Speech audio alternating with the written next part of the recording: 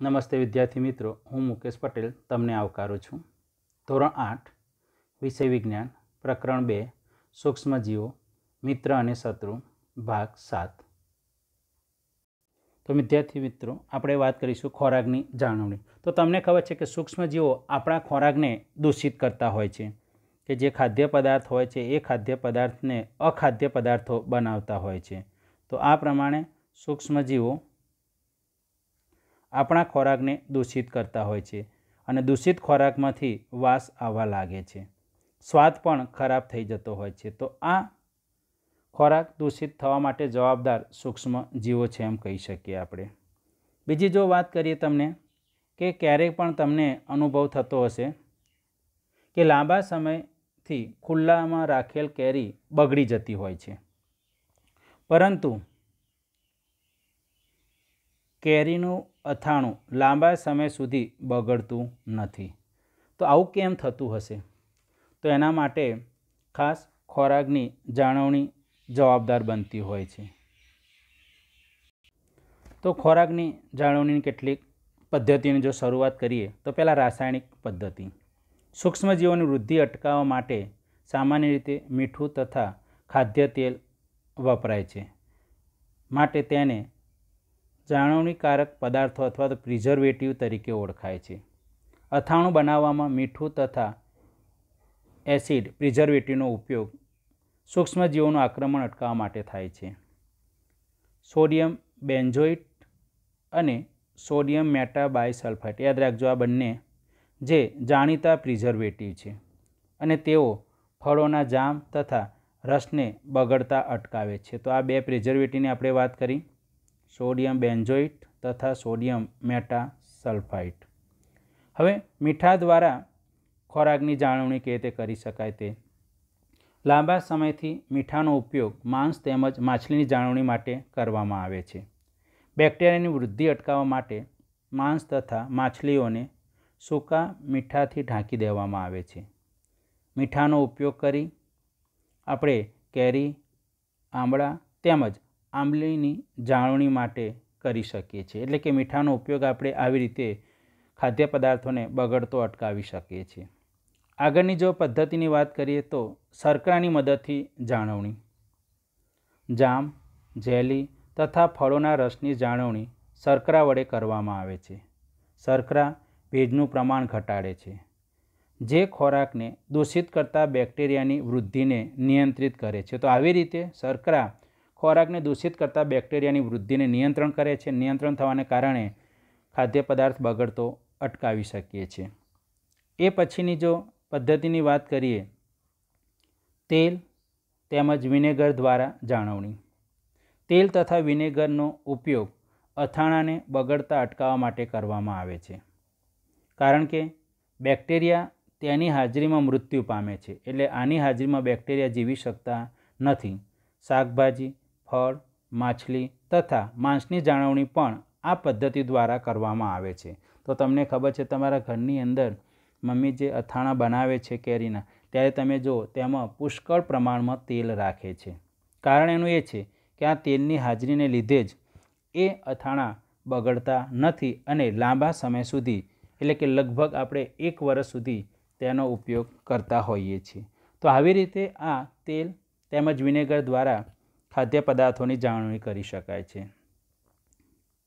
ગરમી તેમજ ઠંડીથી સારવારની જો વાત કરીએ, તો તમને તમારી મમ્મીને દૂધ ગરમ કરતા જોયા હશે. તો શા માટે? કારણ એનું એ છે કે જ્યારે દૂધ ગરમ કરવામાં આવે છે, ત્યારે દૂધમાં રહેલા સૂક્ષ્મજીવો નાશ પામે છે. એટલે ગરમ કરવાથી અનેક સૂક્ષ્મજીવો નષ્ટ થઈ જાય છે. તો તમે જોયું છે કે તમારા ઘરે જે દૂધ આવે છે, કોથળીની અંદર, જે સામાન્ય રીતે આપણે અમદાવાદની અંદર અમૂલનું દૂધ સવિશેષ વાપરતા હોઈએ છીએ, ત્યારે તમે એ પ્લાસ્ટિકની કોથળી ઉપર વાંચ્યું છે ક્યારે સ્પેચ્યુરાઇઝડ દૂધ. તો આ સ્પેચ્યુરાઇઝડ દૂધ એટલે શું? તો સ્પેચ્યુરાઇઝ દૂધને ઉકાળ્યા વગર આપણે વાપરવામાં આવે છે.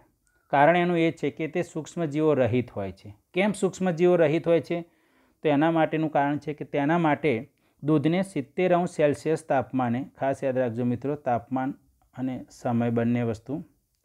સિત્તેર અંશ સેલ્સિયસ તાપમાને પંદરથી ત્રીસ સેકન્ડ માટે ગરમ કરવામાં આવે છે અને પછી તરત જ ઠંડુ કરીને તેનો સંગ્રહ કરી દે છે અને આવું કરવાથી સૂક્ષ્મજીવોની વૃદ્ધિ અટકી જાય છે. આ પ્રક્રિયાની શોધ લુઈ પાશ્ચર નામના વૈજ્ઞાનિકે કરેલી અને આથી તેને સ્પેચ્યુરાઇઝેશન તરીકે ઓળખીએ છીએ આપણે. તો આવી રીતે સ્પેચ્યુરાઇઝ કરેલું દૂધ ઉકાળ્યા વગર વાપરવામાં આવે છે. એનું કારણ એમાં સૂક્ષ્મજીવો રહિત હોય છે અને એનું પણ કારણ તમને સમજાયું કે એ દૂધને લગભગ સિત્તેર અંશ સેલ્સિયસ તાપમાને પંદરથી ત્રીસ સેકન્ડ માટે ગરમ કરવામાં આવે છે. અને ત્યારબાદ પછી તરત જ ઠંડુ કરીને તેનો સંગ્રહ કરેલો હોય છે અને એમાં સૂક્ષ્મજીવોની વૃદ્ધિ અટકી જવાને કારણે એ દૂધ બગડી જતું નથી અને ઉકાળ્યા વગર આપણે વાપરી શકતા હોઈએ છીએ. અને આ પદ્ધતિની શોધ લુઈફ પાશ્ચર નામના વૈજ્ઞાનિકે કરી માટે એને સ્પેચ્યુરાઇઝેશન તરીકે ઓળખવામાં આવે છે.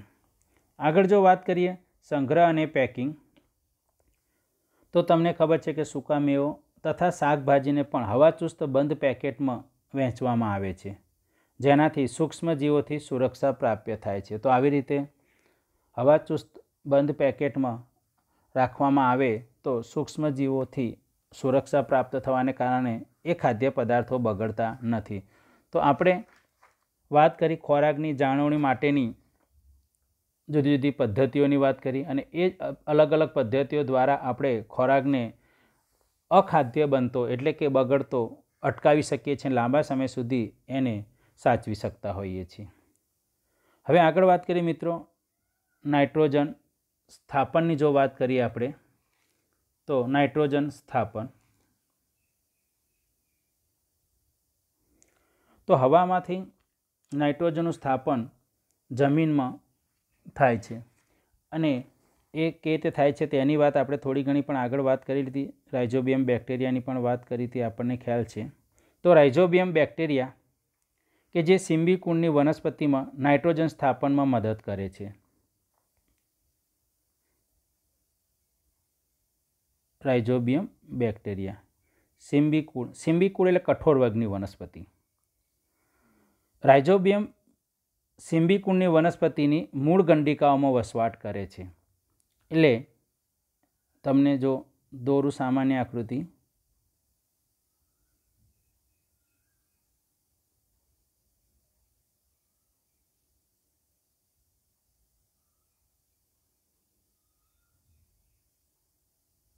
આવી રીતે. અને એની અંદર આવી રીતની ગાંઠ હોય છે.